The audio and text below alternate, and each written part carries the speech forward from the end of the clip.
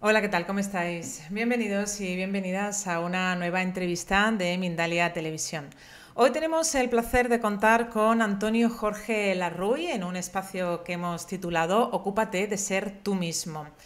Vamos a tratar de profundizar en el camino del autoconocimiento con el objetivo de conocer algunas claves que nos lleven a tener un estilo de vida más consciente, más presente y que de alguna manera esto nos lleve al buen vivir.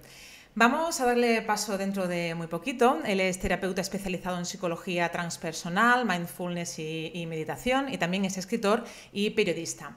Pero antes me gustaría eh, informarte de que Mindalia Televisión ha aumentado su número de directos diarios con la idea de que puedas seguir participando, aprendiendo, informándote y también creciendo. 40 directos a tu corazón.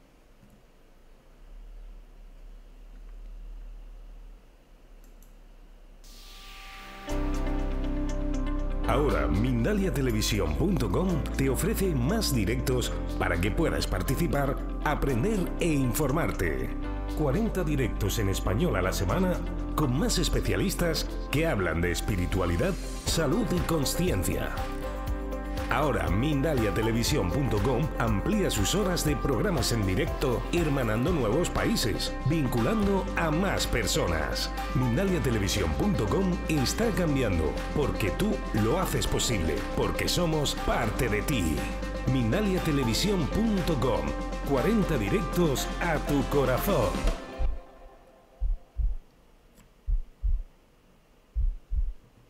Bien, pues antes de darle paso a nuestro invitado y a darle ya comienzo a esta entrevista, también quiero recordarte que puedes colaborar con Mindalia Televisión dejando un me gusta debajo de este vídeo, también un comentario positivo cargado de, buena energía y de buena vibración.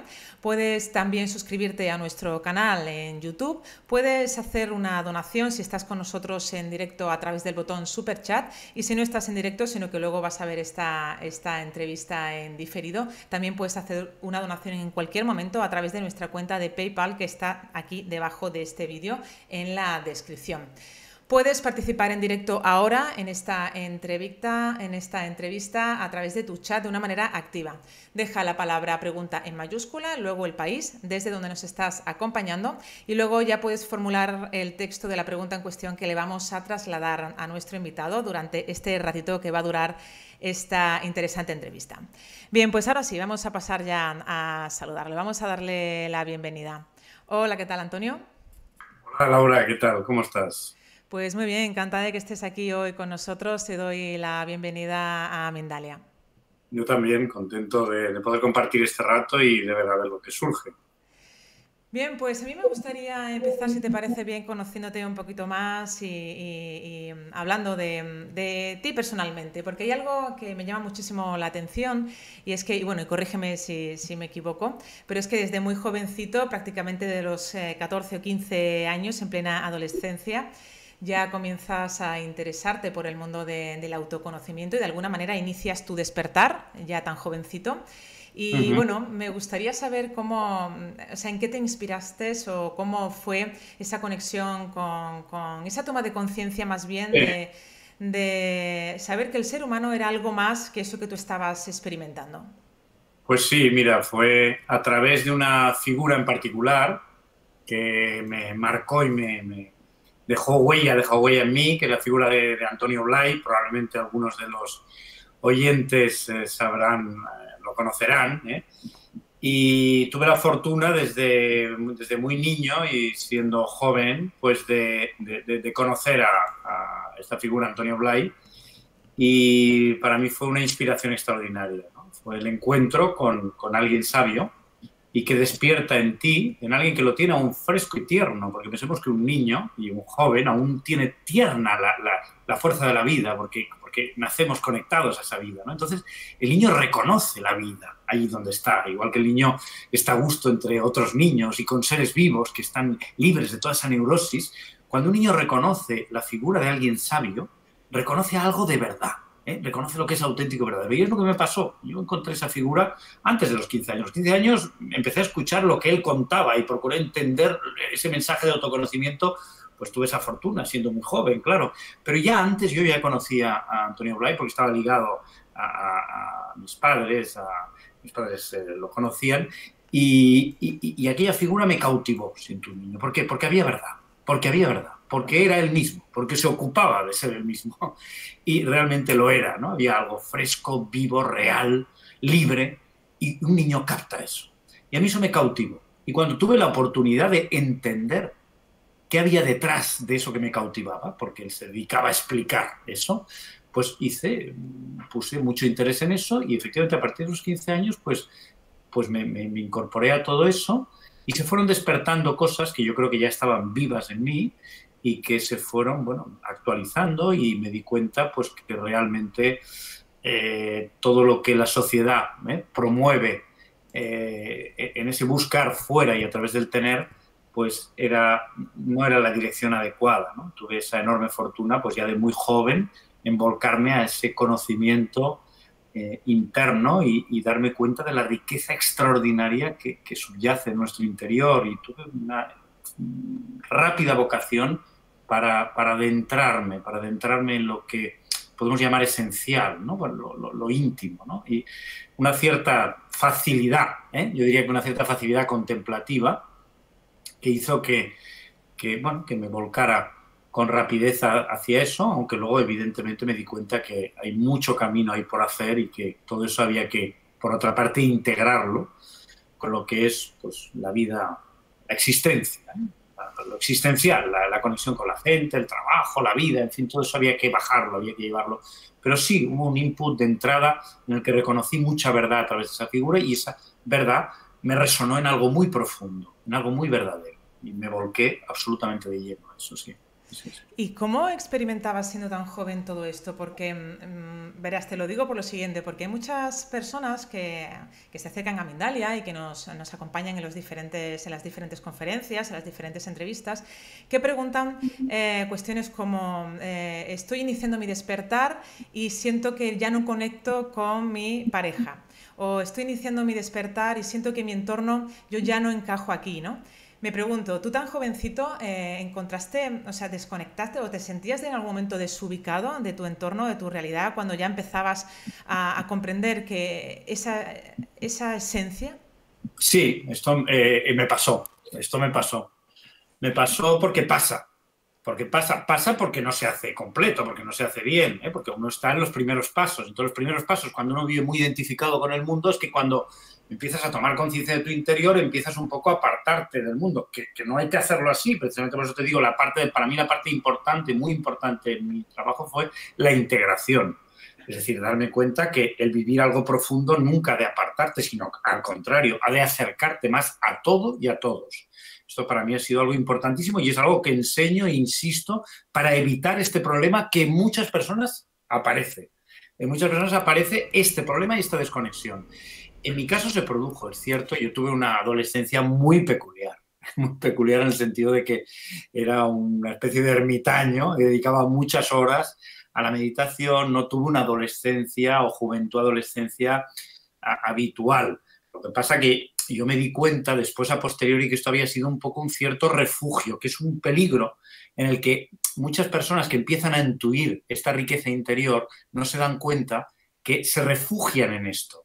¿eh? y, eh, determinados conflictos y limitaciones que viven en el mundo externo, pues lo compensan con todo este refugio interno.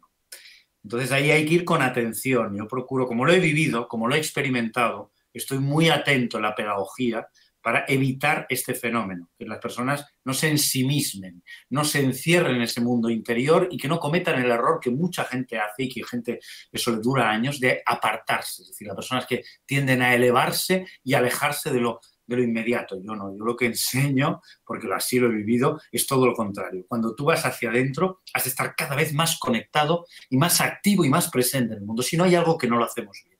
La persona que tiene ese concepto de la espiritualidad que le aparta de lo, digamos, la materialidad, esto es un dualismo del que actualmente me aparto absolutamente. Yo creo una visión unitaria en la que lo existencial y lo esencial, el arriba y el abajo, conforman una perfecta unidad. Quiere decir que cuando tú conectas más con tu esencia, tienes que estar funcionando mejor en la existencia. Si no es así, hay algo que falla.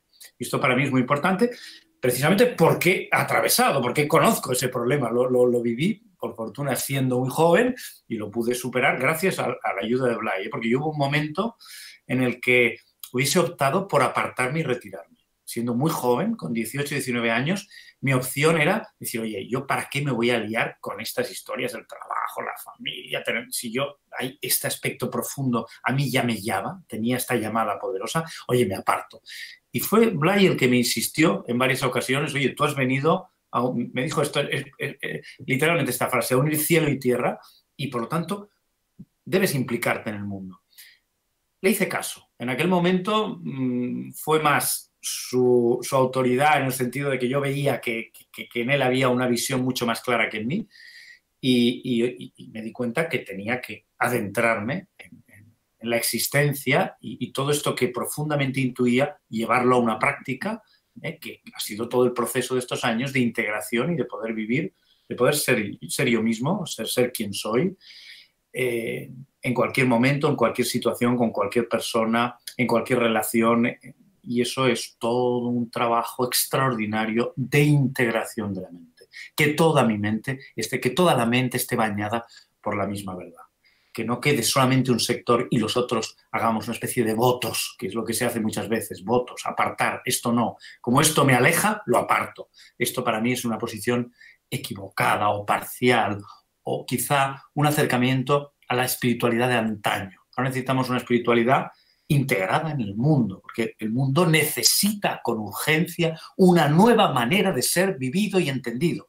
las personas que viven bien o viven con más sabiduría se apartan del mundo, flaco favor estamos haciendo, ¿verdad? Y estamos en un momento que es imprescindible, porque se necesita, ¿verdad? Esto con, urgencia. Eh, últimamente, mm, Antonio, hablamos mucho de ser yo mismo, de la autenticidad, de la esencia, de la verdad. Y no sé si realmente somos conscientes de la profundidad de, todo esto. ¿Qué significa ser uno mismo? ¿Qué significa esa esencia, esa verdad?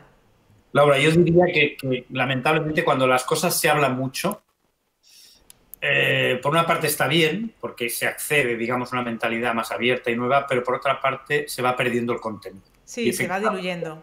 Se va diluyendo. Y efectivamente yo a veces oigo que estas expresiones se utilizan cada vez más, pero las siento carentes de contenido. ¿Qué es ser uno mismo? ¿Qué es la autenticidad? Pues mira, mm, eh, eso requiere todo un trabajo, un trabajo constante por el cual uno eh, aprende a estar consigo mismo. Para realmente que uno pueda eh, llevar a cabo esto que llamamos ocuparse de uno mismo o, vivir con autenticidad, uno ha de conocerse. Y este es, este es el principal punto. Es decir, uno ha de ha de tener un conocimiento de, de toda su dimensión subjetiva, aprender a manejarse con todo su mundo interior y uno de aprender a, darse cuenta que uno está más allá de lo que piensa, de lo que siente, de las cosas que le pasan. Uno tiene que ir despertando de un modo efectivo, ¿eh? de, un modo eh, de, hecho, fáctico, ¿verdad? Ha de ir despertando a lo que es eso que llamamos la esencia, al descubrimiento de que hay una conciencia detrás de las cosas que nos pasan, una conciencia que habitualmente no reconocemos. Es necesario este despertar concreto, diario, cotidiano a la esencia, para que eso luego uno pueda trasplantarlo y llevarlo a su vida cotidiana. En la medida en que yo me reconozco más en lo que íntimamente soy, me doy cuenta que entonces puedo llevar esta intimidad a, a, mis actitudes, a mis relaciones, que cuando yo en, pequeños espacios de recogimiento me acerco más a lo que es genuino, ¿eh? porque me siento ser, que es el objeto de la meditación, o sea, me siento ser, no me pienso, me siento, me vivo. Este sentirme, luego lo puedo ir llevando a mi manera de, relacionarme con las personas, en mi trabajo, o sea, entonces puedo darme cuenta que necesito ser, serme fiel, necesito respetar esta posición interna en lugar de impostarme.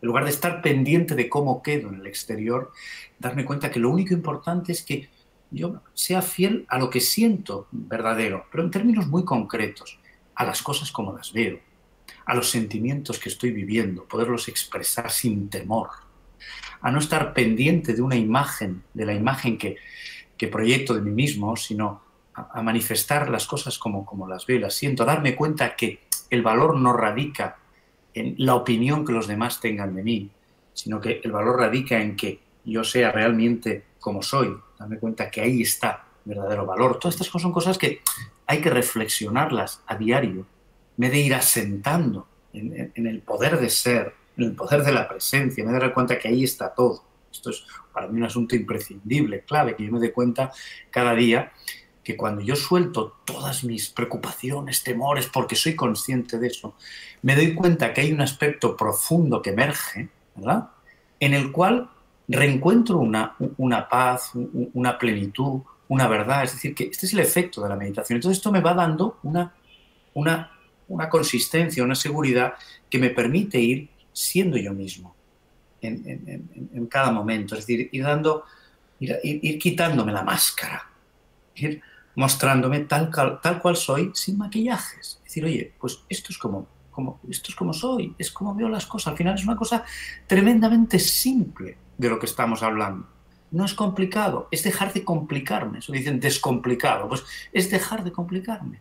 Es pues tal cual, tal cual, sin, sin, sin filtros, sin filtros, atreverme. Vales por lo que eres, vales tal cual eres, es lo que nos hemos de ir convenciendo. Nuestro valor es intrínseco. Cualquier ser vivo vive así. No, no, no, hace cabriolas extrañas para ser reconocido, ni busca ni, ni maniobras para, para ser amado. Vive conforme a lo que es, plenamente satisfecho y en pleno contacto con la vida. Nosotros hemos de eh, entender que eso es lo natural y hemos de recuperar la naturalidad. Yo insisto mucho, Laura, eh, y procuro sustituir la antigua noción de espiritualidad, ¿eh? Paradigma, digamos, espiritualista, por una noción que a mí me gusta más, que equivale a la espiritual, que es natural. Volver a lo natural, que es lo más espiritual, a que no haya filtraje, a que las cosas no pasen por todo un control mental y una computación mental, sino que tú vuelvas a ser, estar con quien estés y donde estés, estás en tu casa. Sé tú, estés pendiente de juicios ni opiniones, no tienes ningún tribunal delante. Tú has venido a, sacar toda la riqueza que hay en ti, toda la verdad que hay en ti, toda la calidad que hay en ti. Y, y es inagotable eso. Sé tú, sé tú. Y sé tú cada vez más evitando cualquier temor y evitando también cualquier deseo. Y esto requiere ni más ni menos que un entrenamiento, una dedicación para mí muy concreta, muy específica, por la cual uno va cada vez adquiriendo o, retomando ese poderío que perdimos, ¿no? ese poderío en el que nacimos, porque nacimos empoderados, en conexión con la vida, y la sociedad nos hizo perder eso a través de, la educación, la socialización, como es patente y evidente, un niño que vive natural se va alejando de la naturaleza. Esto lo vemos constantemente, Laura, constantemente estamos viendo como niño lo veo, niños pequeños que son están conectados, son ellos, son unidad constante, todo es espontáneo, todo es natural, hay esa frescura, todos hemos vivido eso, no la idea de uno, no la idea de cómo quedo, no viven el presente con intensidad, siendo ellos mismos. Eso se pierde. Se pierde por el influjo de unas ideas y creencias erróneas que nos imponen y que no tenemos más remedio que asumir. Esto es lo que hemos de apartar, para que vuelva lo natural. No es irme a las quimbambas, gente que tiene la idea de que el mundo espiritual es hacer cosas mágicas, extraordinarias, energías extrañas. No, no, es bueno. El sabio es eso, es la simplicidad pura. Yo he tenido la fortuna de conocer de muy cerca sabios reales. ¿eh? El caso de Blay que te he hablado, tuve la fortuna también de conocer muy de cerca, de convivir con otro gran sabio, Jean Clay, de línea Vedanta.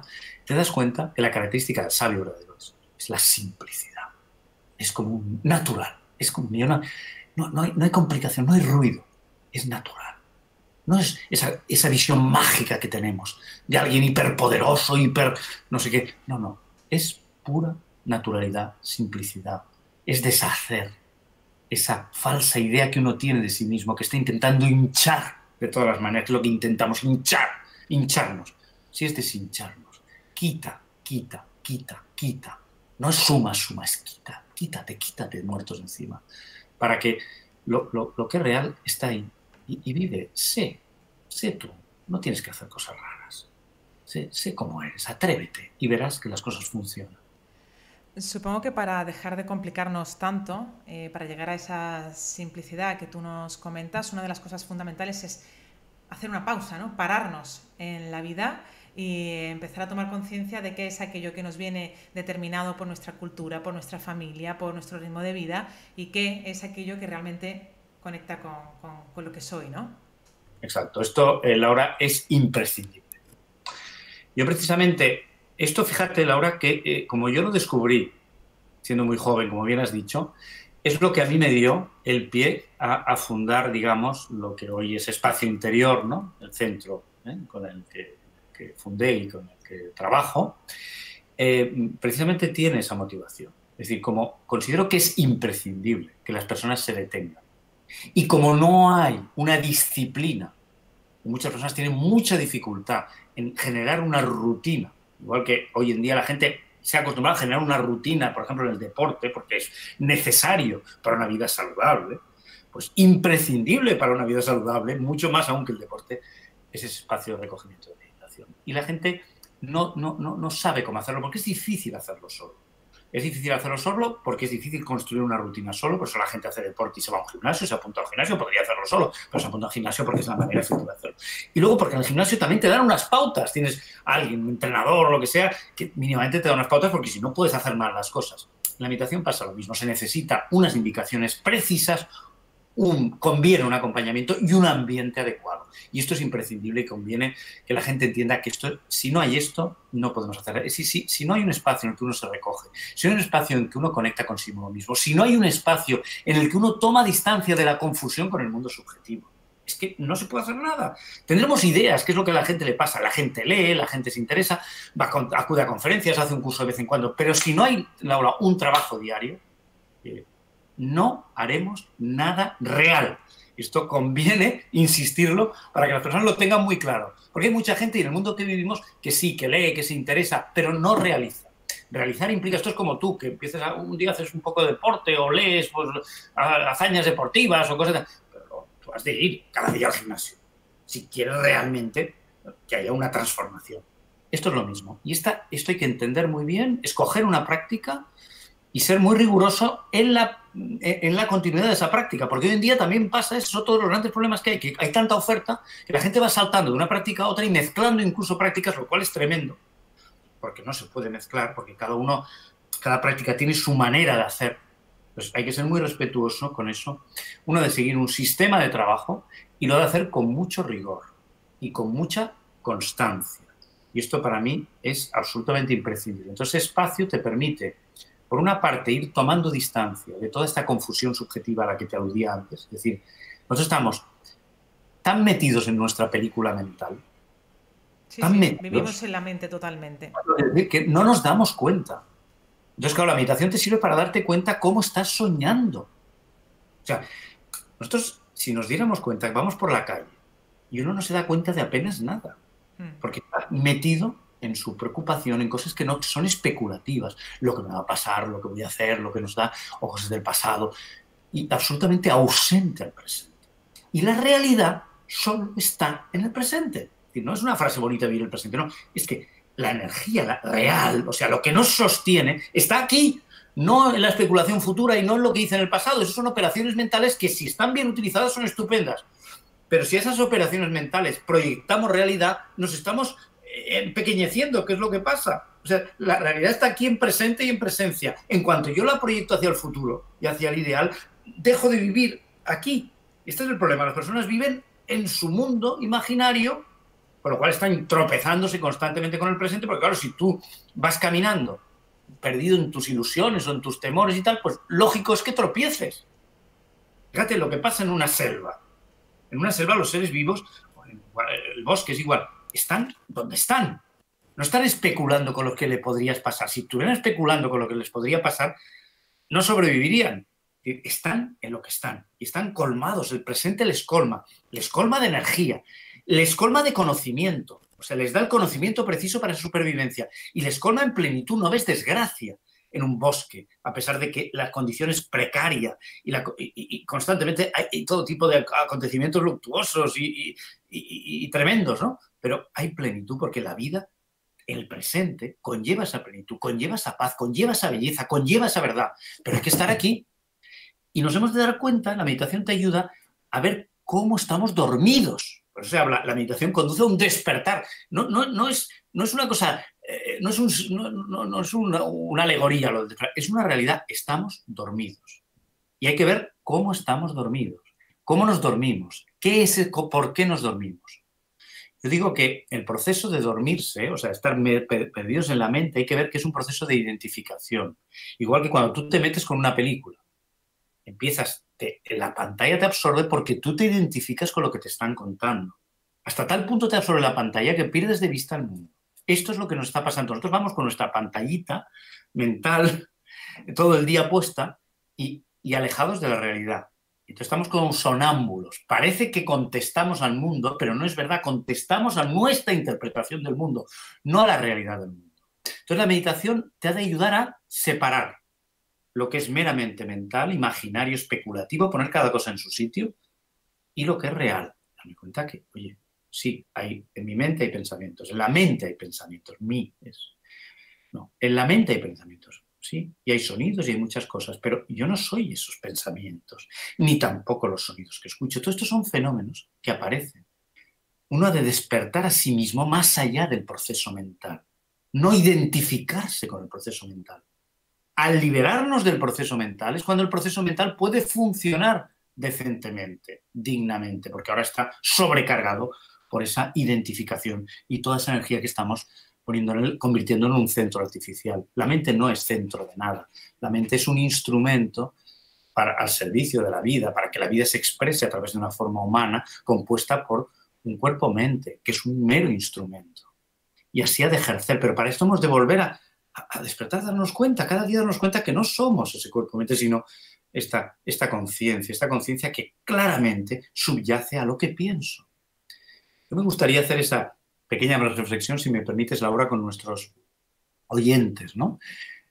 Mm, y decirles, mira, daros cuenta que si nos paramos un momento y uno pues se da cuenta de, que, aparte de que estamos aquí dialogando y que seguramente estáis escuchando lo que estamos diciendo, además de eso, estáis percibiendo unas sensaciones corporales. ¿eh? Hay una sensación corporal. Nosotros estamos ahora siendo conscientes. Y hay todo un proceso mental que está activo ahora en vuestras mentes. Todo esto, todo eso, es cambiante y efímero. Lo que ahora pensáis, al cabo de un momento, ese pensamiento ha desaparecido. La emoción o el sentimiento que ahora tenéis, al cabo de un momento ha desaparecido. Todo lo que es interno y subjetivo, es igual que lo externo, viene y se va. ¿Quiénes sois? ¿Un pensamiento que viene y va es lo que eres? ¿O eres esa conciencia en la que ese pensamiento aparece y en la que ese pensamiento se va. Esta reflexión es imprescindible que la hagamos, que nos demos cuenta que hay un principio posterior a todo ese mundo subjetivo con el que nos hemos confundido. Hay un principio que es constante. Identidad es aquello que es igual a sí mismo, es aquello que no cambia. Los pensamientos cambian sin cesar y a una velocidad increíble. Los estados y emociones que están ligados a cómo pensamos cambian a una velocidad del mismo estilo y las sensaciones son continuamente cambiantes. Tú eres eso, ¿no? Tú eres lo que no cambia. ¿Qué es eso que no cambia? Esa es la pregunta de la meditación real. Por una parte, date cuenta de lo que cambia, déjalo. Déjalo, porque eso no lo has de dirigir. Eso se hace solo, como tu cuerpo. Le decimos mi cuerpo, pero ¿qué mi cuerpo? ¿Qué mi cuerpo? El cuerpo funciona solo. Yo, yo, yo respiro, pero qué mentira. Yo no respiro. El cuerpo, porque la vida respira. Ahora estamos hablando, yo hablo, no, yo no hablo, ni tú escuchas. El, hablar es, algo tan complejo que escapa al supuesto dominio de ese yo particular. La capacidad de elaborar el sonido, todo eso se hace. El que dar contenido y sentido, que todo el sistema nervioso funcione, que todo encaje. ¿Quién hace eso? ¿Quién hace eso? ¿Quién hace eso? Esa es la pregunta del millón. ¿Quién hace eso? Yo. ¿Pero qué yo? ¿Pero de qué me estás hablando? Yo, yo. ¿Qué yo? Ese yo no hace nada. Esto está viniendo, claro, esto está viniendo de una profundidad. Entonces, esto nos debemos dar cuenta. No somos esta parte externa, esta idea que tenemos de nosotros mismos, que la sociedad nos ha hecho creer que somos ese particular, que tú eres Laura y yo, y Antonio Jorge. No es verdad. O sea, somos ese fondo que está aparentemente hablando, aparentemente escuchando, que está haciendo que el organismo esté funcionando y que hay una reproducción celular en este momento, que todas las funciones orgánicas estén produciendo de manera eh, eh, armónica, perfecta, en interacción con todo lo que existe. Esto es increíble. ¿Y esto quién lo hace? Este yo que controla, que dice, ay, diré, no diré, haré. Ese lo único que hace es interferir, Laura. Lo único que hace ese yo es interferir. No hace más que marear. Y lo sabemos. O sea, una persona funciona bien cuando no piensa o sea, cuando no piensa, o sea, cuando no está atrapada en sus pensamientos, cuando funciona. Un acto inspirado, un acto creativo, es un acto que el pensamiento no interviene, es clarísimo, eso es evidente y lo sabemos. O sea, el pensamiento dice, yo, hoy voy a hablar, me voy a hacer una entrevista, hoy qué diré, qué no diré, cagada, fastidiada, ¿me entiendes? Porque el yo, lo único que hace ese yo personal es interferir, no tiene ninguna realidad. La realidad es la vida. Por esto hay que, ¿sabes? Hay, hay que reflexionar. Entonces, cuando empiezas a ver que todo viene, que, la vida es tu sostén real. ¡Wow! Esto es un descanso. Pero oye, me vuelvo a apoyar ahí, como el niño pequeño. Y vuelvo a confiar. El conocimiento vendrá. No lo busco, yo no me apoyo en cuatro ideas que tengo. Es una cosa que la, la, vivo mucho, este aspecto del conocimiento, porque estoy muy metido en eso, ¿no? Entonces, jamás me apoyo en lo que yo, todo lo que conozco, creo conocer, lo olvido, lo abandono y procuro estar en un estado de absoluta desnudez, ahora cuando estamos hablando o cuando doy una charla o lo que sea, en un estado de absoluta desnudez, porque sé que lo que tenga, el conocimiento que tenga que venir vendrá. Eh, igual que sé que el organismo eh, se va a ir sosteniendo y cuando no tenga que sostenerse es que no tiene que sostenerse. Pero estamos a, a merced de la vida porque somos la vida. Este yo es el que genera todo el sufrimiento inútil porque supone que este yo tiene un plan. ¿Pero qué plan tiene este yo? ¿Pero dónde quiere ir este yo? ¿Pero dónde quiere ir? Hay más plan que el de la vida. Ríndete al plan de la vida, date cuenta que eres la vida. Y, soltemos esta, esta falsedad del yo, porque no, nos hace, no nos hace ningún bien. Ninguno, ninguno, de verdad, ninguno. ¿Qué herramientas, Antonio, nos puedes regalar hoy, nos puedes eh, compartir para realmente soltar ese yo personal, para ir despojándonos de ese personaje, además de, de, la meditación, que es una herramienta clave? ¿Qué otras cosas de manera diaria podríamos hacer para que nos ayudara en este autodescubrimiento. Mira, si te parece, Laura, eh, elaboro un pequeño plan para, para, el oyente, un plan de trabajo. Muy sencillo, muy simple, pero que habría que cumplir con rigor si, si realmente queremos que, que, las cosas fructifiquen. Lo primero, la meditación. Yo al, al, oyente le recomendaría, con todo mi cariño, con todo mi amor, que empezara el día meditando. Levantarse, después de, de asearse, de, o sea, estar un poco despejado, ¿eh? y que tuviera, si lo hace solo, unos 20 minutos, media hora mínimo, ¿eh? de, proceso de escucha. Doy unas pequeñas pautas de ese proceso de escucha. ¿vale? Para mí el proceso de escucha meditativo tiene que estar fundamentado en el cultivo de tres gestos. El primero es, párate. Físicamente, una postura en la que la espalda esté recta, la cabeza alineada con la espalda, los pies en contacto con el suelo, estás en una silla, ¿eh? bien sentado, una posición, procurar estar quieto esos 20 minutos o media hora, no, la inquietud es una clara señal de la mente, la necesidad de moverte es porque la mente está inquieta, no le hagamos el juego, postura, quieto, esto en relación a la postura, y entonces es una determinación interna, el primer gesto de parar. Vas a estar 20 minutos o media hora internamente quieto. Esto te va a dar, te va a permitir ir recuperando esa entereza que hemos perdido, porque ahora estamos siempre yendo de aquí para allá. El pensamiento se te lleva por aquí, el otro se te lleva para allá. Hemos de recuperar la dignidad, la entereza de ser, de aquí estoy, aquí me planto, aquí me planto. Entonces pongo el ejemplo ¿eh? de, la, determinación de Buda, ¿eh? cuando decide sentarse debajo del árbol de la Bodhi, ¿verdad?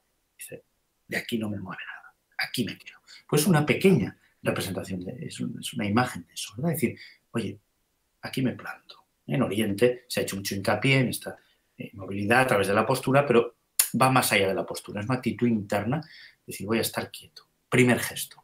Segundo gesto, obsérvate.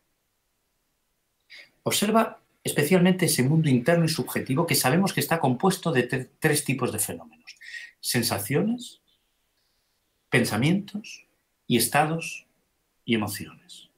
Entonces, ese pupurri con el que estamos confundidos, al que llamamos yo, necesitamos para salir del observarlo. Observar significa darte cuenta, no pensar, valorar, opinar, juzgar. No, si aparece juicio, opinión y tal, observa. Cultiva lo que se llama la disposición de testigo. Me doy cuenta, me doy cuenta, no hay opinión, no hay intervención, es calladito. ¿Eh? Observas y no dices nada, no contestas. Tu mente intentará arrastrarte a, que intervengas, a que tomes posición, a que tomes partido. No ecuanimidad, neutralidad, impasibilidad. ¿eh? que llaman, los antiguos llamaban ataraxia. En el cristianismo también apacella, posición de testigo. ¿eh? Cultiva esta capacidad de ser observador de ti mismo. Te vendrán turbulencias de todo tipo. Fortaleza, entereza y observa, escucha. Es como, yo digo muchas veces, esto es como un, cuando uno va a un terapeuta, ¿no? Un terapeuta funciona porque, porque es alguien que va a escucharte. ¿eh? Tú, tú, le cuentas tus cosas y ese, esa, esa escucha, sin decirte nada, ya es curativa. Por lo tanto, deja que la mente hable, que tus emociones surjan, deja que eso pase, ¿verdad? Y tú mantente como un mero espectador. Esto requiere toda una práctica. El tercer gesto es acepta, acoge, ama, sonríe a lo que te está pasando, como si lo que, estuviera lo que estuvieras percibiendo fuera lo más deseado y amado. Ponte en esa actitud, cultiva esa actitud. Aunque te venga una turbulencia, un malestar, sonríe. ¿eh? Cultiva tu capacidad de amar. No de amar solo lo amable, que es lo que sabemos hacer. No, amar también lo que no es amable. Eso es hacerte fuerte en amor. Igual que la capacidad de observar y no enredarte con el pensamiento te hace fuerte en conciencia. Si cultivamos estos tres gestos, por tanto, tan sencillos como estar, ver y amar, esto va produciendo una distancia del mundo subjetivo. A partir de ahí es cuando podemos empezar a reconocernos, tal como te decía, en esa conciencia que somos, conciencia, paz y energía. Vamos despertando a esta dimensión esencial, gracias a esta progresiva desconexión de lo subjetivo, que se produce a través del cultivo de estos tres gestos. Esta es mi primera recomendación. Empieza el día ahí y asiéntate en, lo que es ese fondo. Date cuenta que eh, la vida, eres la vida y que esa vida es plena en sí misma, que esa vida es pura conciencia, es pura luz, es pura energía y empieza el día conectado. Date cuenta que la riqueza está en tu intimidad. Deja de estar sumergido en un mundo imaginario lleno de, de peligros y de temores y tal, y conéctate. ¿eh? Desde ahí, segundo gran trabajo, lo que nosotros llamamos la actitud positiva, que va a ser un trabajo que vas a prolongar a lo largo de todo el día. Actitud positiva fundamentada en tres, en, tres actitudes principales. Autenticidad, entrega y presente. Autenticidad. A medida que te vas conociendo y vas conociendo el sabor de lo genuino, intenta vivir con esa prioridad. Cuando estás en tu trabajo, cuando estás con alguien, procura serte fiel. No te traiciones, no te impostes en la medida que puedas. E intenta ser más y más tú mismo cuando estás con alguien abrirte más, ser más íntimo. No quiere decir que tengas que explicar cosas, significa que dejes de ponerte corazas. A lo mejor no dices nada, pero tu actitud es más abierta y de querer mostrar más lo que eres porque vales por lo que eres. La autenticidad es un aspecto clave para que nuestra vida sea nuestra vida. Si no, nuestra vida no es nuestra vida. Una persona que está de espaldas a la autenticidad y a lo genuino, ¿qué vida está llevando? Está llevando la vida de otro. Entonces, es, ese es un aspecto clave. Otro aspecto clave es la entrega. La meditación te va haciendo descubrir que tu interior es un potencial extraordinario, que somos la vida, que hay una riqueza inagotable. Por tanto, vive con generosidad, vive con generosidad. Vivir es entregarse, da lo más y lo mejor de ti mismo. Yo utilizo siempre una, una consigna que considero que, me ha ayudado muchísimo, que es vivo lo que doy. Por lo tanto, dime lo que quieres vivir y te diré lo que tienes que dar. La gente quiere vivir el amor, dalo. La gente quiere vivir alegría, dala. La gente quiere vivir comprensión, dala. La gente quiere vivir seguridad, dala. Es decir, aquello que quieres vivir es lo que has de dar. Una vida plena es una vida, eh, solo se vive pleno el que se entrega, si no es imposible. Entregarte es darte en cada momento y dar en cada momento lo mejor de ti mismo. Eso que hacemos de uvas a peras, cuando estamos en situaciones que supuestamente son muy importantes, entonces nos entregamos y entonces disfrutamos. ¿Por qué relegarlo a unas situaciones? ¿Por qué solo nos entregamos a algunas personas? ¿Por qué cometemos ese error? Claro, eh, a las personas a las que nos entregamos son las relaciones que valen la pena, pero si todas las relaciones podrían valer la pena, depende de que seamos auténticos y que nos entreguemos. Pues hagámoslo siempre, convirtamos esto en nuestro estilo de vida. Aprendamos a decir, oye, cualquier momento es una oportunidad para que yo dé lo mejor de mí, porque dando lo mejor de mí, vivo lo mejor de mí. Es tan sencillo, Laura, como esto, es que es tan sencillo como esto. Llevo años aprendiendo y viviendo así. Y mientras más lo vivo, mejor vivo, porque no falla. Cuando tú estás todo tú despierto, cuando tú estás con alguien están poniendo interés, aunque no te interese formalmente aquella situación, aquella persona, pero tú estás poniendo interés, tú estás poniendo amor, estás poniendo apertura, estás poniendo energía, eso ya lo estás viviendo. Esto, las personas, por ejemplo, hay en ámbitos que lo hacen, el que hace deporte sabe que cuanto más se cansa, cuanto más energía saca, más energía vive. Pues esto funciona en todos los niveles. Por lo tanto, la entrega es un elemento capital para vivir y para mantener este tono de energía alto, que es imprescindible, porque hoy en día, no he tenido una frase muy buena que decía, dice, el problema del ser humano, dice, no es que viva mal, que también, es que vive poco. Es verdad, o sea, el nivel de energía, yo lo el nivel de energía de la gente es bajísimo. ¿Por qué? Porque el entreno es pobrísimo. La gente se agota, efectivamente se agota enseguida, está un poco amable, un poco cariñoso y ya, oh, ha agotado. Hombre, venga, saca más. Esto es como el que corre, eh, yo qué sé, 50 metros y ya saca, saca el aire, por está ahí suspirando. Oye, entrénate, entrénate. Estás donde estás, pero puedes sacar mucho más, crecer mucho más, vivir mucha más energía, vivir mucha, mucha más luz, vivir mucha más fuerza, pero tienes que entrenar, sacar. Esto es una, la actitud positiva es un entrenamiento constante, diario, y cada situación es un gimnasio y te has de tomar cada situación como un gimnasio. En lugar de estar perdiendo el tiempo, esta situación no me gusta, esta persona tendría que ser así, tendría que ser así, deja ya de hacer tonterías, con perdón, y, de complicarte la vida y de sufrir. Las cosas son como son. Y son la vida que te las trae. ¿Qué estás tú diciendo? De que esto no te gusta, que. Aquí es un infantilismo. Lo que te viene, te conviene. Y lo que tienes que hacer es dar lo mejor de ti mismo. Es lo que tienes que hacer. Y dejarte de puñetas y dejarte de, de peleas con la vida inútiles. Porque ¿quién va a pelear con es absurdo. La vida trae lo que es la que te ha hecho nacer, es la que trae las circunstancias que te trae, es la que gobierna el universo. Pues, pues oye, será lo que conviene, ¿verdad? Y aprovecha para hacer lo que tú tienes que hacer y no para subvertir ¿eh? tu, tu, tu, responsabilidad, que es esta entregar, porque has venido a eso, hemos venido a florecer, a sacar como cualquier ser vivo todo el potencial que íbamos dentro, a sacarlo todo, a florecer, a gozar, a vivir. Pues venga, aprovecha cualquier situación para darlo todo entrega, yo soy un amante absoluto de la entrega. Fue esas cosas que aprendí cuando pasé de ese mundo contemplativo, ¿verdad?, a un mundo de acción, a un mundo de realidad.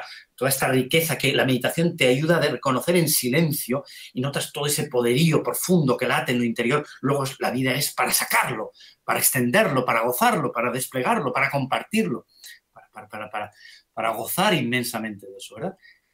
Y el presente es otra clave principal. Cuando empiezas a detectar, porque conoces tus procesos mentales, y los procesos mentales están generados o generan lo que eh, llamamos el tiempo. Es la mente que genera esa, instancia inexistente a la que damos realidad, que llamamos futuro, y esa instancia inexistente a la que llamamos pasado, que funcionalmente son útiles, pero en cuanto les damos realidad son desastrosos, pues hay que aprender a vivir diciendo, oye, ahora estoy aquí. Ni futuro ni pasado. Y yo digo, quítate la presión del futuro. Quítate el lastre del pasado. Ahora estamos aquí, estamos juntos, estamos compartiendo conversación y no hay nada más que eso. Todo lo demás está absolutamente orillado, porque si ahora yo tengo en cuenta lo que voy a hacer después, esa atención que pongo a lo que voy a hacer después la estoy retirando de estar aquí. Por lo tanto, mi nivel de entrega mm, eh, disminuye. Si yo estoy pendiente de un asunto que ha quedado del pasado, que tiene una conversación con una persona y que ha quedado pendiente, y yo estoy hablando contigo, estoy pendiente, me vienen cosas de tal, esto me está menguando mi capacidad de estar aquí, de ser del todo. Por lo tanto, el presente es una gran clave, la entrega es una gran clave, la autenticidad es una gran clave. Esto es lo que llamo actitud positiva. Si nosotros combinamos la meditación y la actitud positiva, que en el fondo es lo mismo, es meditación contemplativa y meditación a través de la acción, yo digo, sueltas el ego eh, a través del ego, sí, el yo idea que llamo yo, pero el ego, lo sueltas a través del proceso meditativo de soltar y la acción al soltarte, al dejarte y ser tú, ser tú, no estar pendiente de la imagen, ser tú mismo, ser auténtico. Son dos medios en los que tú vas aparcando las limitaciones egóticas. Vas dejando de vas apostando por la vida, por una vida que la descubres en recogimiento y una vida que la descubres en expansión. Eh, por lo tanto, son dos movimientos de lo mismo. No podemos separar lo que llamo actitud positiva de lo que llamo meditación, porque ambas cosas es como un latido. Es como la sístole, la diástole, la inspiración, la expiración. Y estas dos cosas han de venir acompañadas de un tercer elemento que recomiendo hacer antes de ir a dormir. Por lo tanto, a primera hora por la mañana, durante el día, actitud positiva y al irnos a dormir cinco minutos. Solamente le voy a pedir al oyente. ¿Para qué? Para que todo esto que voy descubriendo, que es la vida, que soy este potencial, que soy esta riqueza y que vivir es ser yo mismo. Eh, eh, vivir con autenticidad, entregarme del todo, dejar de estar pendiente de, especulaciones mentales, de imágenes, de cómo quedo, no quedo. eso tengo que convencerme, convencer a mi mente inconsciente, que es la que genera los principales impedimentos, de que eso es así. Porque el trabajo de meditación y actitud positiva concierne a la parte consciente. Pero luego existe una parte inconsciente de mi mente que no se da por aludida y es necesario ir a ella. ¿Qué mejor momento para ir a la mente inconsciente que cuando nos vamos directamente a ella? Antes de ir a dormir es el momento ideal porque uno camina hacia esa parte inconsciente. Esa parte inconsciente también la podemos ligar al niño, al niño interior, a ese niño que recibió esa información errónea que le apartó de su fondo natural. Por eso recomiendo, ¿eh? y a veces es útil, tener en la mesilla de noche una foto de cuando uno era niño, 5, 6, 7 años, cuando ya es el niño caído. Entonces, antes de irte a dormir, es como si fueras a ropar a ese niño que está confundido, que está ya metido en el mundo del adulto, del temor, del miedo, de quedar bien, de que si lo haré, que no lo haré, desconectado de su riqueza profunda. Ves hacia ese niño y hazle, comunícale lo que estás descubriendo que es verdad. Comunícale a ese niño interior que es la vida, no es ese pequeño niño inseguro que depende de lo que haga le querrán más o menos y que tiene que portarse bien y que tiene que hacer esto porque si no no vale nada y que si no aprueba pues es un inútil y todas estas mandangas que nos han metido en la cabeza que nos hacen vivir en la pobreza que vivimos, porque son mandangas, todo eso son mandangas. Si tuviéramos tiempo me gustaría ir eh, desarrollando la falsedad de cada una de esas creencias, ¿verdad? Pero en definitiva es contrarresto eso. Dice, al niño le digo, oye, en ti hay una riqueza extraordinaria, que es la verdad porque cualquiera que tenga ojos y vea a un niño se da cuenta que ahí está la fuerza de la vida, la verdad, está todo. Y al niño lo que hay que hacer es confiar en él y decirle, oye, adelante, sé tú mismo. Confía, sé tú, saca lo que, es tu autenticidad, entrégate por completo. Lo mismo que estamos haciendo, se lo decimos a esa parte inconsciente, a esa parte infantil.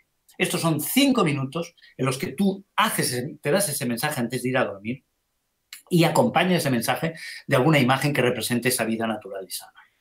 Estas tres cosas, hechas con rigor y constancia cada día, transforman nuestra manera de vivir. ¿En qué sentido? Pues que cada vez vas a ser más tú mismo. Desde cada vez te vas a sentir con más fortaleza, más riqueza. Vas a dejar de estar tan colgado de fuera, dependiendo de unas relaciones, dependiendo del trabajo, el dinero, todas estas cosas que estamos constantemente colgados, la sociedad, la opinión de los demás. Y a empoderarte, porque has empoderado al mundo. Y ahora hay que devolver ese poder al fondo, a la vida, a quien somos. Empezarás a notar una autonomía, una libertad, una capacidad para sentirte cómodo, para ser tú con todo el derecho pleno. Porque tenemos todo el derecho pleno para ser. Nos lo han hecho retirado, ¿verdad? Nos han dicho, no, tú no puedes ser si no tienes esto, aquello, ser alguien, nos dicen. Eh, o, ganarte la vida, o estas nociones terribles. No, no, no. Tú ya eres, no tienes que demostrar nada. Eh, tú no te has de ganar la vida, tú eres la vida ya.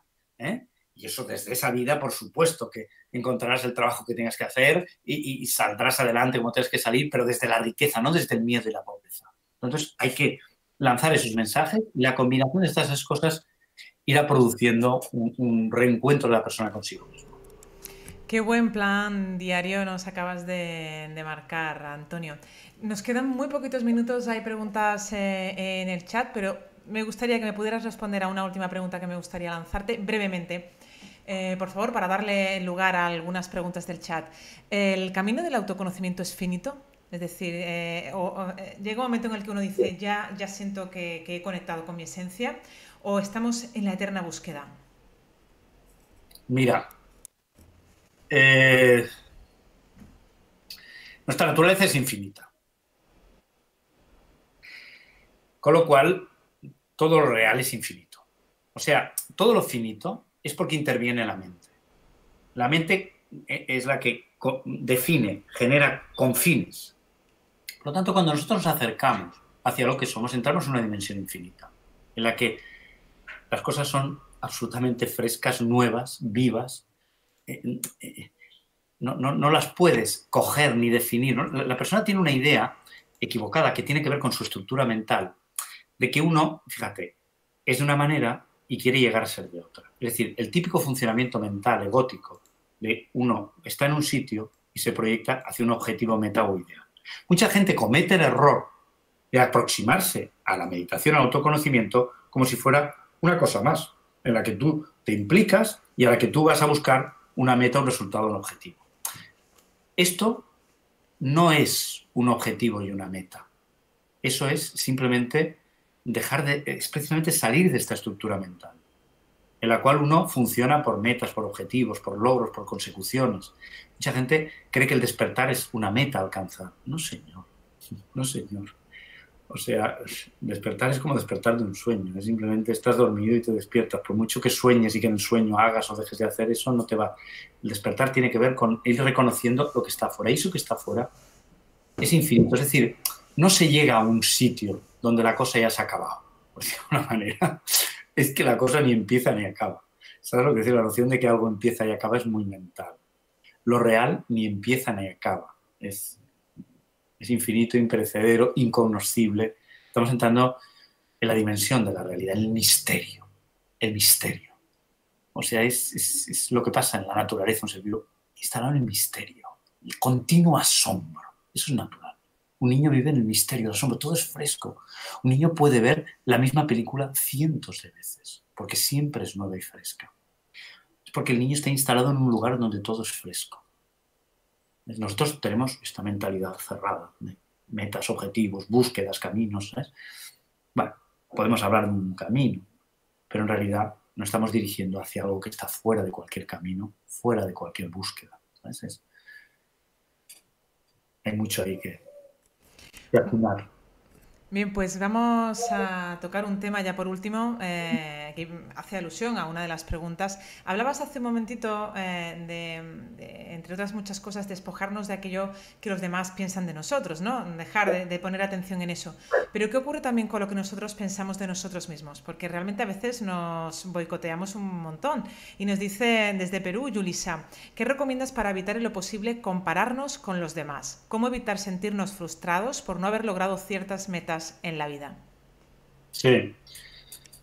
Pues mira, yo te diría, yo le diría mm, que lo que es importante es que ella vaya dándose cuenta, ¿verdad?, de, todo ese mecanismo mental de comparación y de la emoción que eso le genera. ¿eh? Vuelvo a, un poco a la consigna que daba antes, es decir, sé espectadora de tu mente y cómo tu mente te compara, porque tu mente tiene una idea pequeña de ti. Y, que, eh, porque cuando eras pequeña te compararon con tus hermanas, con otras niñas, y decían, pues es menos, es más, y tú estás constantemente haciendo lo mismo que hicieron contigo. Entonces, es necesario que te des cuenta de ti misma fuera de esa comparación y fuera de las emociones que esa comparación genera. Que tú te des cuenta que eres la conciencia que ve toda esa comparación y, el sentir que siente todas esas particulares emociones, que tú te conectes a la vida como te pasa, ¿verdad? Cuando, cuando estás realmente entregada o instalada en algo, seguro que no te comparas, o sea, seguro que estás haciendo algo al 100% y en ese momento no hay comparación que valga. En ese momento estás siendo tú, estás conectada con la vida. Esto es lo importante, que tú te reconozcas ahí y que vayas viviendo desde ahí. La comparación es fruto de que estás desubicada. Por lo tanto, cuando estés en proceso de comparación, intenta colocarte atrás y luego recordar estas pautas que te he dicho. Es decir, oye, luego, una vez más colocada en ti, entrégate, moviliza al máximo de ti mismo, es decir, desatiende la comparación y las emociones y procura estar en lo que estés al 100%, procurando ser muy auténtica y muy verdadera. Y luego, pues las tres herramientas que he dado, luego aprovecha eso cuando ves que hay una parte de ti que se compara y se siente de menos, etcétera, etcétera, es tu niña. Entonces aprovecha por la noche para decirle a tu niña que no se compare, que sea ella, que no tiene que compararse con Juanita, ni con Pedrita, ni con Pepita, ni con nadie, que ella es ella y que su valor es intrínseco y que lo que tiene que hacer es vivir sin comparación, porque es, somos, siempre digo, mira, somos uno en el fondo y únicos en la forma. En el fondo estamos hechos de lo mismo, somos lo mismo, eso que las tradiciones dicen somos hermanos, estamos hechos del mismo principio. Y en la forma somos únicos. Tú eres única. Y por tanto, sé tú. No te compares. No hay comparación posible. ¿Qué sentido tiene que una margarita, comparar una margarita con un gladiolo o, con una hortensia? O es que la hortensia con la margarita, déjate. La hortensia es maravillosa y la margarita también. Están expresando la belleza de la vida y la gracia de la vida es que las formas son diversas. Y tú tienes una forma diversa, no te compares. Eso sí, sé tú. Y sé tú sin inseguridad, sin temor. Y para eso has de trabajar. Has de trabajar para darte cuenta de tu potencial, de tu riqueza. Y para cada vez expresarla con más eh, señorío. Porque tienes todo el derecho para ser quien eres, porque para eso hemos venido. El, entender todo esto y irlo aplicando hará que tu mente cada vez te compares menos con otros porque estarás ocupada en ser tú misma, como bien decimos en, el, en, la, cabecera de la charla. Ocúpate en ser tú misma y desatiende la comparación unos con otros. La mente hay que aprender a decir, oye, yo con mi mente una época le decía, cuando la mente me acosaba con su historia, decía, oye, estoy ocupado. Pero claro, siempre estás ocupado, ¿verdad? Es, una buena estrategia. Es decir, oye, ahora no puedo atenderte a tus rollos, que si soy menos, que si soy más. Ahora estoy ocupado con lo que estoy haciendo. Estoy ocupado con Laura. Me mete, no, tal. Ahora estoy ocupado con lo que estoy. Ahora estoy paseando. Ahora estoy ocupado. Ahora estoy ocupado. Ahora estoy ocupado. Y por lo tanto, la mente que viene con sus rollos, pero uno está ocupado con el presente. Y con entregarse en el presente. Y con darlo todo. Y es una buena estrategia para que la mente vaya cayendo por inanición. Porque la mente está queriendo picarnos pillarnos. Entonces, oh, me comparo, soy menos, entonces le vuelvo tal y le digo y cuento y tal. Y eso hace grande el ego, grande la mente. No pienses. Tengo un libro eh, que se llama Vivir sin pensar, vivir en plenitud. No pienses y, no te con el pensamiento y vive, está, dalo todo. Pues muchísimas gracias, Antonio, por todas tus enseñanzas, por todo lo que acabas de compartir hoy. Se nos ha ido el tiempo. Eh, la gente está participando en el chat, hay también muchas preguntas y, también muchos comentarios de agradecimiento hacia todo lo que acabas de, transmitirnos. Nos han seguido desde República Dominicana, Chile, Panamá, Ecuador, México, Argentina, eh, Perú, Colombia, España. Gracias, gracias pues a todos de verdad por acompañarnos y por seguirnos, por estar presentes hoy aquí en esta entrevista. Unos segunditos, Antonio, para que puedas despedirte. Pues estupendo. Pues eh, muy feliz de, haber compartido con vosotros estos momentos y bueno, pues para cualquier cosa que, requiráis o necesitéis, pues me tenéis ahí a través de las redes. También tenemos una, una plataforma online, ¿eh? en la cual pues podéis acceder un poco pues, a, todo esto que hemos compartido y a charlas y vídeos y demás. Y bueno, ha sido un gusto, un placer pues estar con vosotros y, me encantaría pues poder estar particularmente con cada uno de vosotros y responder a vuestras cuestiones y dudas. Muchas gracias y especialmente a ti, Laura, por darme esta oportunidad ¿eh? de compartir esos momentos y de disfrutar Pues sin duda, gracias a ti, eh, Antonio, por compartirte hoy. Bueno, y a vosotros, antes de despedirme, eh, recordaros que podéis dejarnos un me gusta debajo de este vídeo, compartir este vídeo si os ha gustado esta información en vuestras redes sociales para que lleguen a más personas en todo el mundo. También podéis dejarnos un comentario con vibración positiva debajo del vídeo, os podéis suscribir a nuestro canal. Eh, o también podéis hacer una donación a través de nuestra cuenta de PayPal que está debajo de, de este vídeo, en la descripción. Gracias, nos vemos en la próxima conexión de Mindel en directo. Hasta pronto.